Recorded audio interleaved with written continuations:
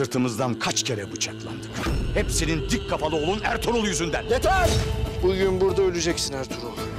Ertuğrul, Ertuğrul'un kellesini bu kalenin kapısına çivilemeyi teklif ediyorum. İşini bitirdik şehzade.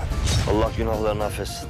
İbnül Arabi'nin kanı ve emaneti yolumuzu aydınlatacaktır. Bundan gayrı savunma yok. Fütühat var. Cihan bizden yeni bir diriliş bekler. Diriliş Ertuğrul her çarşamba TRT 1'de.